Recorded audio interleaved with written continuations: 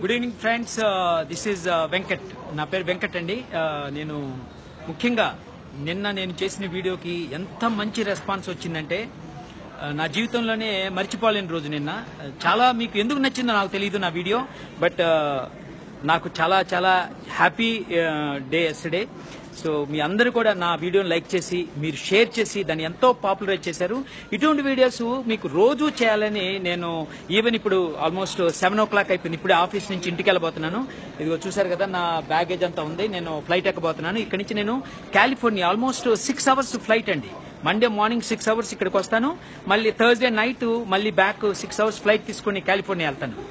So of course business class ఉంటుంది first class ఉంటుంది. I enjoy my travel no problem but ఇది consultant life అంటే అంటే నేను కన్సల్టెంట్గా గా ఒక మల్టీనేషనల్ కంపెనీలో ఆన్స్ట్ అండ్ యంగ్ అని చెప్పి దాంట్లో ఒక మేనేజర్గా పనిచేస్తున్నాను ఐటీ ఆర్కిటెక్ట్గా చేస్తున్నాను ఐటీవీ సాఫ్ట్వేర్ ఇంజనీర్గా లాస్ట్ టూ థౌజండ్ ఫైవ్ నుంచి ఇక్కడ చేస్తున్నాను అమెరికాలో అంతకుముందు ఇండియాలో చేశాను. ఓకే అది నా introduction but today politics point ఏంటంటే ఈ పాలిటిక్స్ పాయింట్ ఎక్స్పెండిచర్ అండి గవర్నమెంట్ ఎక్స్పెండిచర్ నిన్న నాకు ఒక ఫ్లైర్ వచ్చింది. ఆ ఫ్లైర్ బెంగళూరు మిర్రర్ అనే ఒక మ్యాగజైన్ నుంచి బహుశా న్యూస్ పేపర్ అనుకుంటాను. దాని దాని హెడ్లైన్స్ నాకు పంపించారు ఎవరో ఫ్రెండ్. సో దాంట్లో మన కుమారస్వామి గారి గవర్నమెంట్ ఇనాగరేషన్ అప్పుడు వచ్చిన ప్రముఖుల పేర్లు వాళ్ళ వివరాలు వాళ్ళ ఎక్స్పెండిచర్ ఎంత వివరాలు ఉన్నాయి? అంటే వెస్ట్ ఎండ్ అనే ఒక హోటల్లో వాళ్ళు చెక్ ఇన్ చేశారు twenty second I think twenty third అనుకుంటా. ట్వంటీ థర్డ్ సెకండ్ చేసి ట్వంటీ ఫోర్త్ వాళ్ళు వికెట్ చేస్తారంటే వన్ డే వన్ డే మన పొలిటీషియన్స్ మన మీద ఎంత ఖర్చు పెట్టారంటే ఆల్మోస్ట్ వన్ ల్యాక్ రూపీస్ నుంచి రెండు లక్షల వరకు ఖర్చు పెట్టారు. ఎవరు? ఆర్డినరీ చీఫ్ మినిస్టర్స్ కానీ మన ఆంధ్రప్రదేశ్ చీఫ్ మినిస్టర్ ఉన్నారే. ఆయన ఆర్డినరీ కదండి ఎక్స్ట్రా ఆర్డినరీ ఆయన ఎంత ఖర్చు పెట్టారు తెలుసా? ఎనిమిది లక్షల ఎనిమిది పాయింట్ ఏడు అనుకుంటా. ఎనిమిది పాయింట్ ఏడు అంటే ఆల్మోస్ట్ లేకపోతే సెవెన్ పాయింట్ ఎయిట్ మొత్తం మీద ఎనిమిది లక్షల రూపాయలు ఆల్మోస్ట్ ఖర్చు పెట్టారు ఒక్క రోజుకి ఒక్క నైట్ స్టేకి అంటే టీడీపీ నాయకులు మీరుంటే మీరు గర్వపడుతున్నారేమో కానీ నాకు సిగ్గేస్తుందండి. మనం చెప్పేదేమో ఆస్టిరిటీ కబుళ్ళు. మనకు డబ్బు లేదని మనం చాలా పేదరికంలో ఉన్నామని లేకపోతే రెవెన్యూ డెఫిసిట్ అని ఇన్ని రకాలు చెప్తూ ఇంత విచ్చలవిడిగా మీరు ఖర్చు పెడుతున్నారు. అది ప్రజల డబ్బు కాదు అది గవర్నమెంట్ డబ్బు బెంగళూరు డబ్బు నాకు అనవసరం అండి. కర్ణాటక డబ్బు నాకు అనవసరం. కానీ ఆంధ్రప్రదేశ్లో కూడా మీరు చేసిన నిర్వాహకం ఇదే. మీరు ఆలోచించండి. టూ థౌజండ్ ఫోర్టీన్లో మీ ఇనాగరేషన్కి ఆరు వందల కోట్లు ఖర్చు పెట్టారు. నిజం కాదా? ఆ తర్వాత విత్ ఇన్ టెన్ మంత్స్లో most trusted newspaper in India. నేను చెప్పేది అల్లాటప్ప గాలి న్యూస్ కాదండి. టైమ్స్ ఆఫ్ ఇండియా మీ ఎక్స్పెండిచర్ని పబ్లిష్ చేసింది. Hundred crores within ten మంత్స్లో మీరు ఖర్చు పెట్టారండి ఏ విధంగా ఖర్చు పెట్టారు? కేవలం మీ నివాసానికి మీ క్యాంప్ ఆఫీసులు రెండు విజయవాడలోను మీ హైదరాబాద్ క్యాంప్ ఆఫీస్ కానీ మీ లేక్ వ్యూ గెస్ట్ హౌస్ని ఇంప్రూవ్మెంట్ చేయడానికి కానీ మీరు సౌత్ హెచ్ బ్లాక్లో పదిహేను కోట్లు ఖర్చు పెట్టిన తర్వాత వాస్తు బాగలేదని మళ్ళీ ఎల్ బ్లాక్ మారారు. అప్పుడు ఒక ఐదు కోట్లు ఖర్చు పెట్టారు. సార్ ఇది ప్రజల సొమ్మండి. వాస్తుగా ఇప్పుడు కూడా మీరు చూస్తున్నారు. ఓకే మీరు చూశారు. చూసేందుకు ముందుగా చూసావచ్చు కదా. మాకెందుకండి? మీ పదిహేను కోట్లు మా డబ్బు ఖర్చు పెట్టేదానికి మీకే మీరికే అధికారం ఇచ్చారు సార్. ఎవరు ఇచ్చారండి మీకు అధికారం? ప్రజల డబ్బు అది. వంద కోట్లు అంటే నెలకి పది కోట్ల రూపాయలు. మీకు ఇండిపెండెంట్ ఫ్లైట్లోనే వెళ్ళగలరా? మీరు బిజినెస్ క్లాస్ వెళ్ళలేరా? నేను బిజినెస్ క్లాస్ ప్రయాణిస్తున్నాను. ఫస్ట్ క్లాస్ లగ్జూరియస్గా ఉంటది. అంతకంటే ఏముంటది? ఇండిపెండెంట్ ఫ్లైట్లో అది మూడు గంటలు వెళ్తారు. నేను ఆరు గంటలు ఎవ్రీ వీక్ పన్నెండు గంటలు ఫ్లైట్ చేస్తాను. అంటే మీరేమన్నా ఆకాశం నుంచి దిగబడ్డారనుకున్నారా ఏంటి? ఎంత ఖర్చు చేస్తున్నారు మీకు అర్థమవుతుందా? వంద కోట్లు మీ ఫ్లైట్ల కోసం కానీ మీ ఈ క్యాంప్ ఆఫీసుల డెవలప్మెంట్ కానీ మీ lake view guest house development కానీ ప్రజల సొమ్ముని వంద కోట్లు నీళ్ళలాగా మంచి నీళ్ళు వృధా నీళ్ళు చేసేటట్టు మీరు వృధాగా ఖర్చు పెడుతున్నారు. పోతే మీరు ఒక్కరోజు నిరాహార దీక్ష చేస్తే మా ప్రజల డబ్బు ఎంత ఖర్చు అయిందో తెలుసా? ఇరవై కోట్ల నుంచి ముప్పై కోట్లు ఖర్చు పెట్టిన అంటున్నారు. ఎందుకు సార్ మీరు నిరాహార చేయటం మా ప్రజల సొమ్ముతోటి? పేద ప్రజల డబ్బు కోట్ల రూపాయలు నీళ్ళలా కనిపిస్తున్నాయా? ఓకే అది వదిలిపెట్టేసేయండి. మొన్న లక్ష్మీనారాయణ గారు బీజేపీ నుంచి అంటున్నారు రెండు వేల రెండు వందల కోట్లు మీకు ఇస్తే ఏది ఎందుకు ఇచ్చారు వాళ్ళు? రెండు వేల రెండు వందల కోట్లు? Basic infrastructure. మీకు సెక్రటేరియట్ లేదు. అసెంబ్లీ హాల్ లేదు. మీకు హైకోర్టు లేదు గవర్నర్స్ ఆఫీస్ లేదు. బేసిక్ ఇన్ఫ్రాస్ట్రక్చర్ డెవలప్ చేసుకోండి అయ్యా. అమరావతిలో అని మీకు రెండు వేల రెండు వందల కోట్లు ఇస్తే మీరు చేసిన నిర్వాహకం ఏంటి? ఒక టెంపరీ బిల్డింగ్ కట్టారు. టెంపరీ గవర్నమెంట్ కాంప్లెక్స్ అని చెప్పి కట్టి అది కూడా చాలా లీకులు అవన్నీ కూడా వీడియోస్లో వచ్చినాయి. దానికి మీరు పే చేసింది ఎంతో తెలుసా? పదివేల ఐదు వందల రూపాయలు పర్ స్క్వేర్ ఫీట్ డెవలప్మెంట్. నేను బిల్డింగ్ కట్టాను. రెండు వేల రూపాయలు. ఓకే మీరంటే సింగపూర్ లెవెల్ కదా? ఐదు వేలు ఖర్చు పెట్టండి. పదివేలేంటి సార్? ఇది ప్రజల సొమ్ము అండి ఈ డబ్బులన్నీ ఎందుకు ఇస్తున్నారో తెలియదు అనుకుంటున్నారా మా ప్రజలకి? కేవలం మీ కాంట్రాక్టులు మేపటం కోసం మీ టీడీపీ గవర్నమెంట్ సపోర్టర్స్ భజన పనులు మేపటం కోసం వాళ్ళ జేబులు నింపి రేపొద్దున ప్రజల్ని డబ్బుతోటి మీరు కొనొచ్చు అని చెప్పి ఒక కుతంత్రంతో కేవలం ఓటు రాజకీయంతో మీరు చేస్తున్న నిర్వాహకం ఇది. కాదని ఎవ్వరూ అనలేరు చదువుకున్నాడు కాస్త కుస్త బుద్ధి జ్ఞానం ఉన్నాడు ఆలోచించేవాడు ప్రతి ఒక్కడికి తెలిసి విషయం. ఒక్క టీడీపీని కొమ్ముగాసే నాయకులు వాళ్ళు చూడదలుచుకోలే నిజాన్ని. మరి ఆ గురువు గారు చెప్పినట్టు ఆ లక్ష్మీనారాయణ గారు చెప్పినట్టు మీరు చేసే నిర్వాహకం ఆ కాంట్రాక్టర్లో జరిగిన అవినీతి ఎంత జుగుప్సాకరంగా ఉందో చెప్పనవసరం లేదండి. సో మీరు ఈ విధంగా ఖర్చు పెడితే ఏమైందండి ఆంధ్రప్రదేశ్ పరిస్థితి. మీరేమో ప్రామిస్ చేసిందేమో స్వర్ణాంధ్రప్రదేశ్. మీరు చేసింది ఏందో తెలుసా? అప్పుల ఆంధ్రప్రదేశ్. ఈ రోజున ప్రజలారా మీరు ముఖ్యంగా వినండి. చంద్రబాబు నాయుడు గారికి మెసేజ్ వెళ్ళకపోయినా మీ ప్రజలు తెలుగు ప్రజల యొక్క ప్రతి గుండెలో ఇది నాటుకునేటట్టు వినండి. రెండు వేల ముప్పై ఐదు వేల కోట్లు ఆంధ్రప్రదేశ్ అప్పు ఈ రోజున. ఎవడి పాపం ఇది?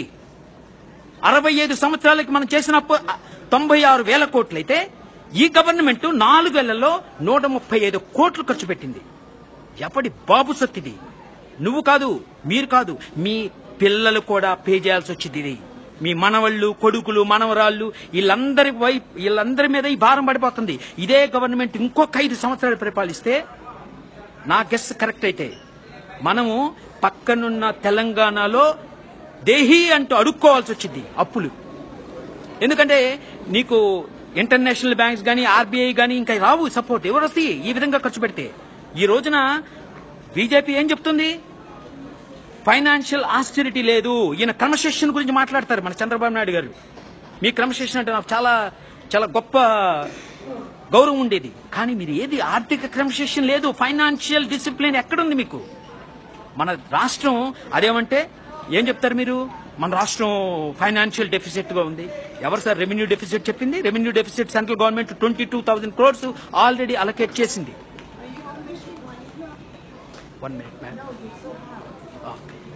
so I'm talking in the airport so people are being fed up so so guys my humble request is look at what the government is doing what they are doing with our money money. They're actually making the whole state exchequer empty.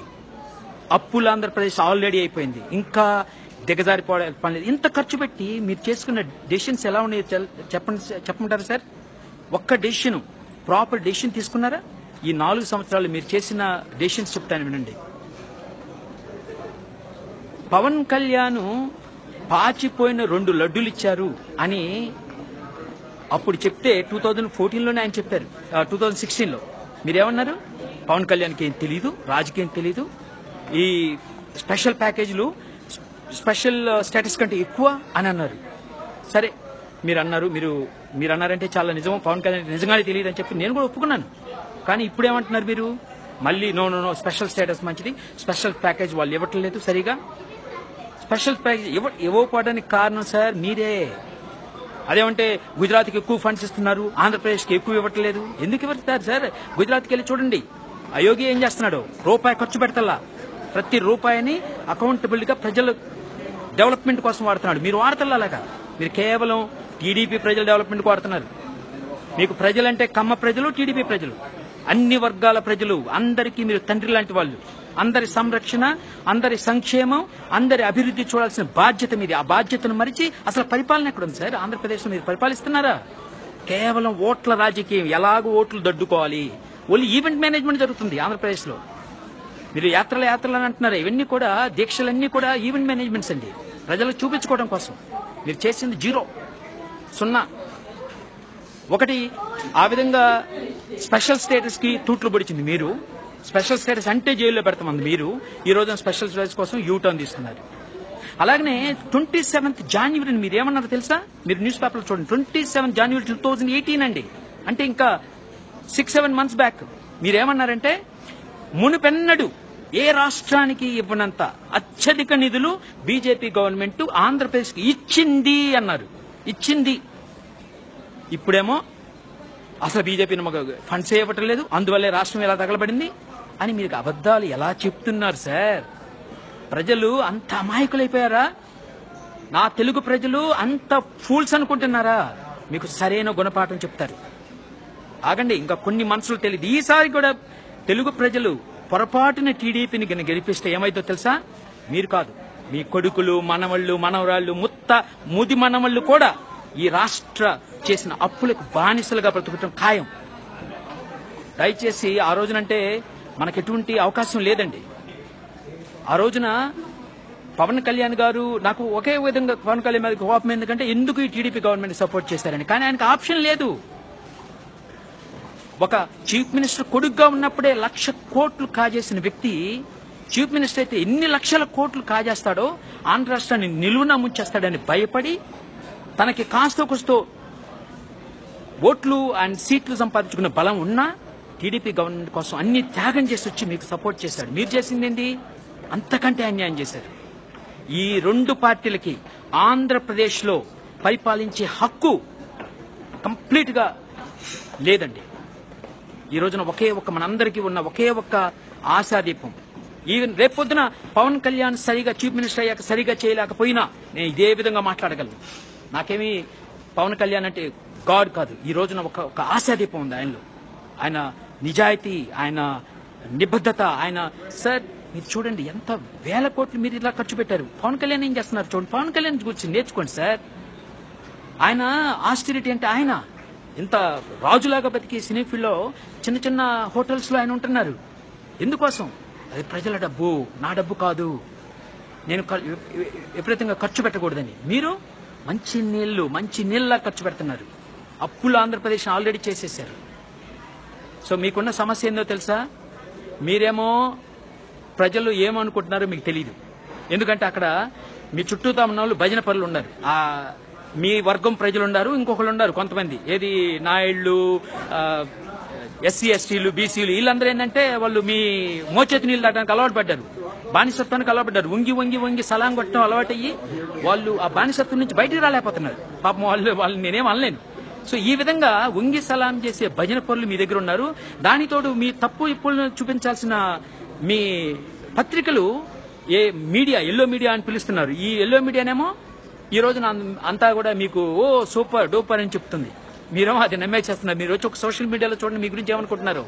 పిల్లలు యూటాన్ uncle అంటున్నారు. నాకు సిగ్గేస్తుంది మా chief minister యూటాన్ uncle అని చెప్పుకోవడానికి.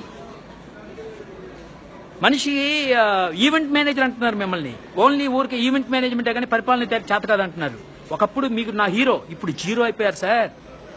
నాకే కాదు కాస్తో కొస్తో ఇంగిత జ్ఞానం అన్న ప్రతి తెలుగువాడు మిమ్మల్ని జీరో అంటున్నారు ఈ రోజున. దయచేసి ఇది అర్థం చేసుకొని సర్దిద్దుకోండి. ఆ సర్దిద్దుకోవడానికి కూడా మీకు టైం లేదండి హండ్రెడ్ పర్సెంట్ మీరు మీకు గుడ్ బై ఇక్కడి నుంచి. మాకు ఒక గొప్ప నాయకుడు దొరికాడు. ఆంధ్రప్రదేశ్ని ఒక స్వర్ణాంధ్రప్రదేశ్గా మార్చే వ్యక్తి దొరికాడు. Thank you very much see in the next video